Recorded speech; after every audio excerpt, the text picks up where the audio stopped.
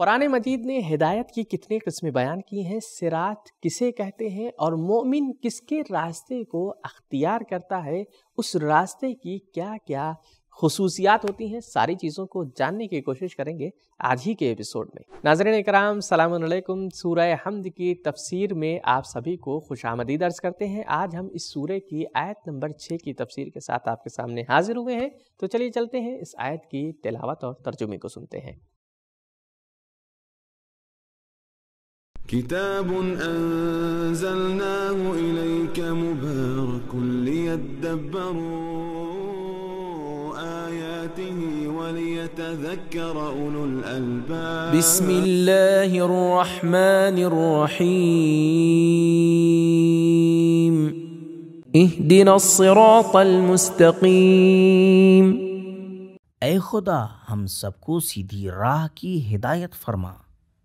तो ये थी आय करीमा की तिलावत और उसका तर्जमा। पढ़ते हैं आय करीमा में पाए जाने वाले नुकात की जानब।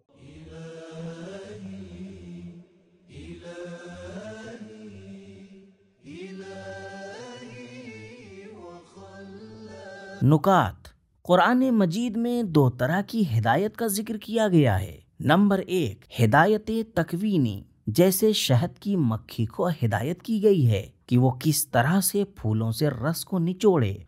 और किस तरह अपने छत्ते और घर को तैयार करे, या परिंदों को हिदायत की गई है कि सर्दियों और गर्मियों में कहाँ से कहाँ तक और किस तरह से मुहाजरत करें। जैसा कि कुरान मजीद में है रबी आता कुल्ल शई खलकहू हदा। हमारे रब ने हर चीज़ को वजूद की नेमत से नवाजा और फिर उसे हसूल कमाल की तरफ़ हिदायत की है। सूर्य ताहा, आयत नंबर पचास। नंबर दो हिदायत तशरी जो खुदा की तरफ़ से भेजे गए अम्बिया की तरफ़ से मिलने वाली हिदायत है। सिरात का लफ्ज कुरान मजीद में चालीस से ज़्यादा मकाम पर ज़िक्र हुआ है। सिरात कयामत के दिन एक पुल का नाम है, जो कि जहन्नम के ऊपर है। और हर शख्स को उसके ऊपर से गुजरना होगा। इंसान के सामने बहुत से गैर इलाही रास्ते मौजूद हैं। उसे उनमें से किसी एक का इंतखाब करना होगा। जैसे, नंबर एक, अपनी ख्वाहिशात तवक़ात की राहें नंबर दो, लोगों की तरफ़ से उम्मीदें और उनकी ख्वाहिशात के रास्ते। नंबर तीन, शैतानी वसवसों की राहें। नंबर चार, तागूत के रास्ते। नंबर पाँच गुजश्ता लोगों की राहें। नंबर छः खुदा और अलियाए खुदा के रास्ते। मोमिन इंसान खुदा और अलियाए खुदा का रास्ता मुंतखब करता है, जिसकी कुछ खसूसियात हैं जो दूसरे रास्तों में नहीं पाई जाती। नंबर एक, इलाही रास्ता साबित होता है, बदलता नहीं है, जबकि तागूती रास्ते और इंसानी ख्वाहिशात की राहें हर रोज तब्दील होती रहती हैं। नंबर दो खुदाई रास्ता एक ही है, जबकि दूसरी राहें मुतद और बिखरी हुई हैं। नंबर तीन,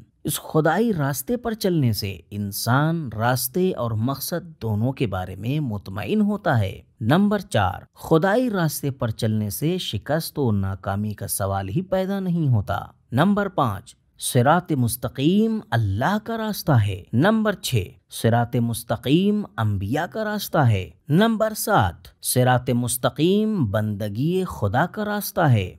नंबर आठ, सिरात मुस्तकीम खुदा पर तवक्कुल और भरोसे का रास्ता है। नंबर नौ, सिरात मुस्तकीम सही सालिम फितरत का रास्ता है। तफसीर साफ़ी में इमाम जाफ़र सादिक से ज़िक्र एक रवायत के मुताबिक जिल नंबर एक, सफ़ा नंबर छियासी। इंसान को चाहिए कि सरात मुस्तकीम के इंतखाब करने में और उसी तरह उस रास्ते पर बाकी रहने के लिए भी अल्लाह से मदद हासिल करे। जिस तरह एक बल्ब हर वक्त अपनी रोशनी को ट्रांसफार्मर से हासिल करता है। सिरात मुस्तकीम पर रहना, मुसलमान की वो वाहिद और तनहा ख्वाहिश है, जिसके लिए वो अल्लाह ताला से हर नमाज़ में दुआ करता है। हती रसूल खुदा सल्लल्लाहु अलैहि वसल्लम अम अतहार अलैहिस्सलाम भी अल्लाह से सीधी राह पर बरकरार रहने की दुआ करते हैं। इंसान को चाहिए कि हर वक्त और हर हर कामों में खुदा से मदद मांगे।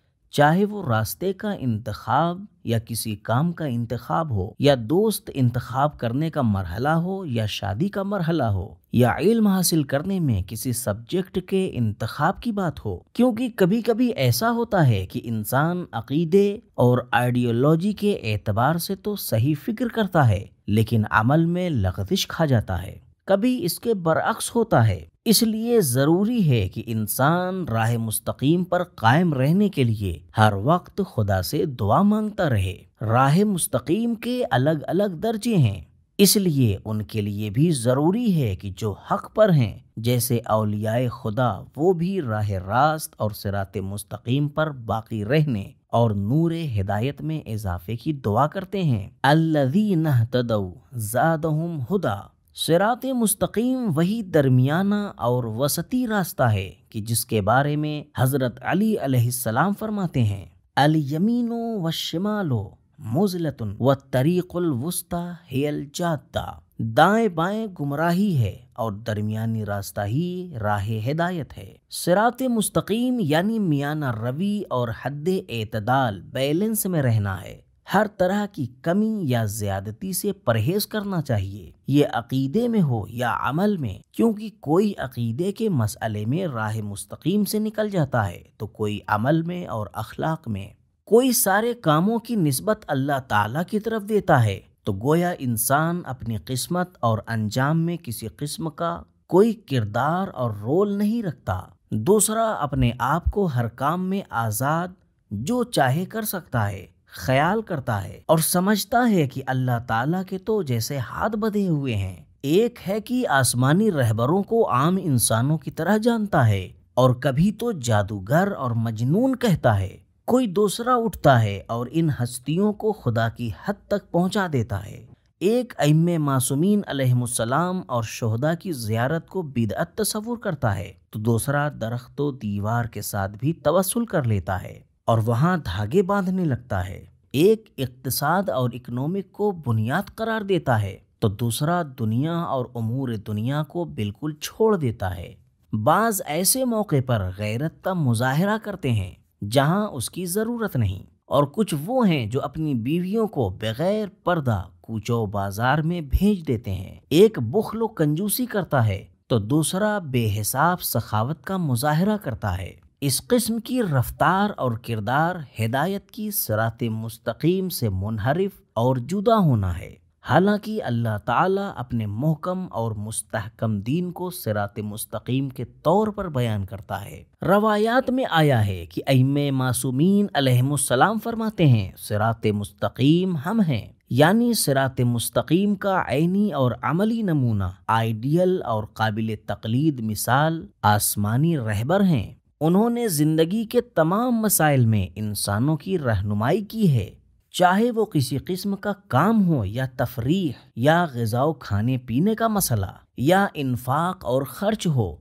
किसी पर तनकीद करने का मसला हो या इसलाह का, किसी पर नाराज़ होना हो या सुलह करना हो, औलाद से रबता हो या कुछ और, हर मामले में उन्होंने इंसान और इंसानियत की रहनुमाई फरमाई है। और हमें मियाना रवि और एतदाल बैलेंस अख्तियार करने की हिदायत की है। तफसीर नूरसकलैन जिल नंबर एक, सफ़ा नंबर बीस। इस बारे में उसूल काफ़ी के बाब अल इकतसादो फिल इबादत, यानी इबादत में मियाना रवि बैलेंस का मुतालिया किया जा सकता है। दिलचस्प बात यह है कि इबलीस भी इसी सरात मुस्तकीम पर ताक लगाए बैठा है। शैतान ने खुदा से कहा लहुम सिरातकल मुस्तकीम सूरह आराफ आयत नंबर 16 कुरान मजीद और रवायात में बहुत से नमूने और मिसालें ऐसी हैं जिनमें मियाना रवि और एतदाल पसंदी बैलेंस की ताकीद की गई है और कमी या ज्यादती से रोका गया है मुलाहिजा फरमाएँ खाओ पियो लेकिन फजूल खर्ची न करो खर्च करने में अपने हाथों को अपनी गर्दन से न बाँध लो और न ही हाथ इस कदर खुला रखो कि खुद मोहताज हो जाओ। मोमिन वो हैं, जब वो खर्च करते हैं तो फजूल खर्ची नहीं करते और न ही बुखलो कंजूसी करते हैं, बल्कि दरमियानी रास्ता अपनाते हैं। सूर्य फुरकान, आयत नंबर सड़सठ। नमाज़ को न तो ज़्यादा बुलंद आवाज़ में पढ़ो और न ही आहिस्ता, बल्कि उसे मोतदिल और बैलेंस आवाज़ के साथ अदा करो। वालदेन के साथ नेकियो एहसान करो। लेकिन जब वो तुम्हें राह खुदा से बाज रखने की कोशिश करें तो उनकी इताअत पैरवी लाजिम नहीं रहेगी। पैगंबर अक्रम सल्लल्लाहु वसल्लम अमूमी रसालत भी रखते हैं, यानी आम लोगों को इस्लाम की दावत देते हैं और अपने घर वालों को भी दावत देते हैं। इस्लाम ने नमाज़ का हुक्म दिया है। जो खाली को मखलूक के साथ राबिता है, वह अकीम सलात और जक़ात देने का हुक्म भी दिया है। जो मखलूक के साथ राबिता है, वह आतो जक़ात, न तो किसी की मोहब्बत तुम्हें हक की गवाही से हटा दे और न ही किसी की दुश्मनी तुम्हें एतदाल और मियाना रवि से खारिज कर दे। ईमान और कलबी यकीन भी ज़रूरी है। आमनू।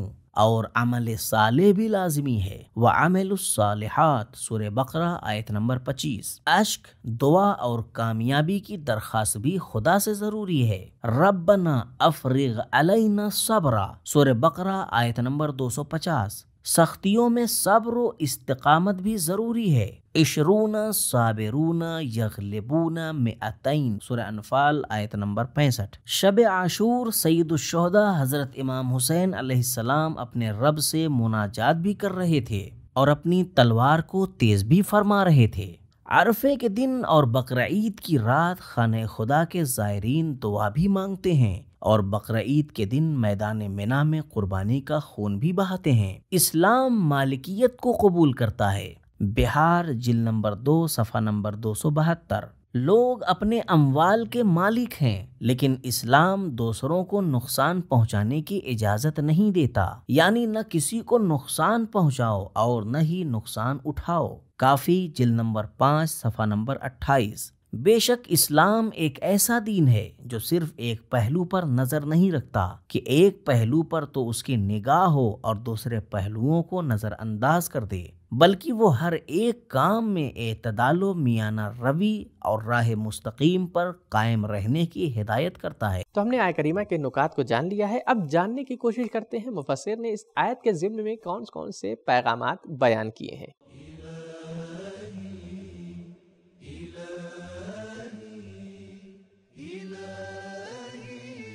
पैगाम नंबर एक, सारी कायनात उस रास्ते पर सफ़र कर रही है, जिसे अल्लाह ताला ने उनके लिए अपने इरादे से मुन फरमाया है। अय खुदा, हमें भी उस रास्ते पर करार दे, जिसे तू पसंद करता है। नंबर दो, सरात मुस्तकीम की तरफ़ हिदायत अल्लाह को एक मानने वालों की सबसे बड़ी ख्वाहिश है। नंबर तीन, सरात मुस्तकीम के हसूल के लिए दुआ करना ज़रूरी है। नंबर चार, पहले हमदो सना करें, फिर मदद तलब करें और फिर दुआ करें। नंबर पाँच, खुदा की मदद का बेहतरीन नमूना सरात मुस्तकीम की दरखास्त है। तो नाजरीन, आज के एपिसोड में हमें यह मालूम हुआ कि अल्लाह ने कुरान मजीद में दो तरह की हिदायत का ज़िक्र किया है। एक हिदायत हिदायत तकवीनी है, जिसका ताल्लुक इंसान के अंदर से होता है, जिसकी मिसाल मक्खी की है। शहद की मक्खी को अल्लाह ने हिदायत तकवीनी दी हुई है, जो कि कभी बदलती नहीं है। और दूसरी हिदायत का नाम है हिदायत तशरी जिसका ताल्लुक अम्बिया कराम से है। अम्बिया कराम हमें आकर बताते हैं कि हमें क्या करना चाहिए क्या नहीं करना चाहिए? और किस तरह से समाज में माशरे में उठना और बैठना चाहिए, ज़िंदगी गुजारनी चाहिए? और सिरात क़यामत में एक पुल का नाम है, जो जहन्नम के ऊपर होगा, जहाँ से हर इंसान को गुजरना होगा। और इस दिन सिर्फ़ वही लोग इस पुल से गुज़र पाएँगे कि जिन्होंने अल्लाह के बताए हुए रास्ते पर अमल किया होगा और अल्लाह के बताए हुए वसीलों से उसकी दुनिया में मुतमसिक रहे होंगे मुतसिल रहे होंगे। इसी तरह से हमने ये भी जाना कि मोमिन अल्लाह और अलियाल्लाह का रास्ता इंतखब करता है, क्योंकि ये वो रास्ता है जो वाहिद है, एक है और हमेशा इंसान को मकसद तक पहुँचा देने वाला है। तो फिर मिलेंगे अगले एपिसोड में, तब तक के लिए शुक्रिया, खुदा हाफिज। सबील कुरान कुरानी समाज की पहचान।